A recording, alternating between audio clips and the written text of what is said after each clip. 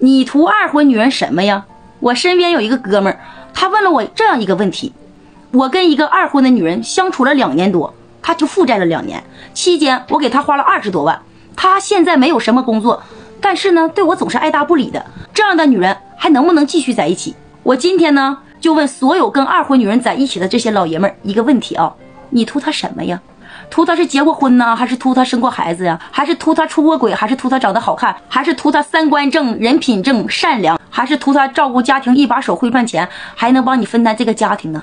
那以上我所问的这些问题，你们相处的过后，你发现他一个好都没占，坏的通通都有，而且这个人呢还负债，还好吃懒做，还天天花着你的钱，却嫌你窝囊，嫌你无能。那么我请问啊，你是多么的缺爱呀？脑袋是不是有泡啊？你才选择跟这样的老娘们在一起啊！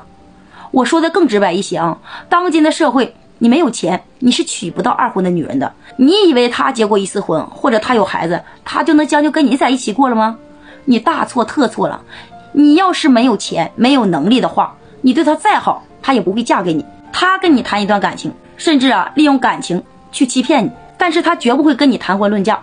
所以二婚的女人都很现实，请你们记住了，这也不是什么刻意去贬低或者打压二婚的女人，而是现在的生活，现在的问题，它就在这呢。她在第一次的婚姻当中失败了，大多数因为都是因为这个问题导致的离婚。所以现在呀，很多的二婚女人活得都特别通透，特别现实，她们谈恋爱只看钱的原因。所以当你们谈一个二婚女人的时候，你不要觉得我经济条件一般，但是我可以拼命的对她好，我关心她，她就会嫁给我了。